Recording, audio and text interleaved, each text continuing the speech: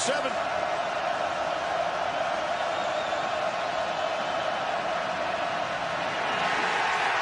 Stanley is swallowed up by Yetur Gross Matos, who is taking over this game from that defensive line spot for Penn State.